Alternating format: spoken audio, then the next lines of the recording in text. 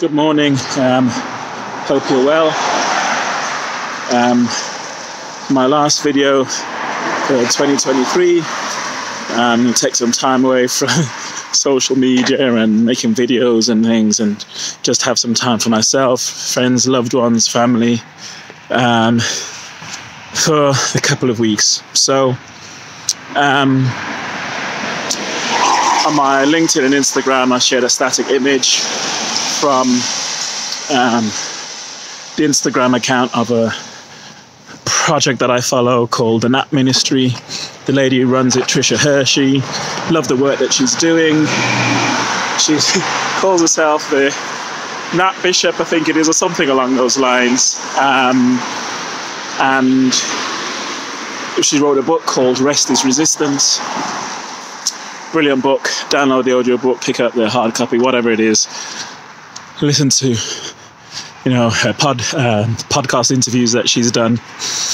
Just the approach to rest as being our birthright that she takes is, for me, you know, amazing.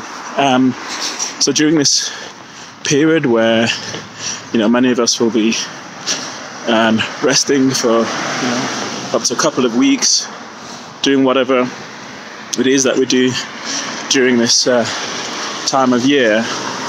Um, rest shouldn't just be something that we do during this time of year. You know, we should be resting throughout the year, and that is a challenge, right? I get it. You know, we all understand that.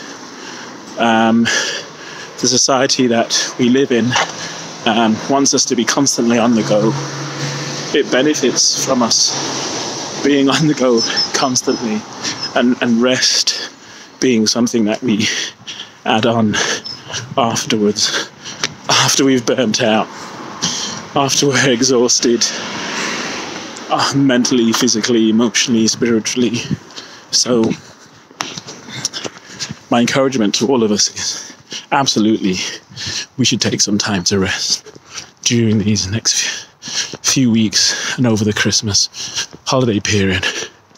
But how can we plan to rest throughout 2024?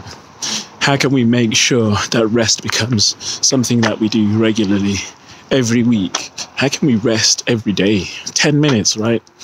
10 minutes just to sit there, to do nothing in silence, not even listening to a podcast, a video, no, nothing.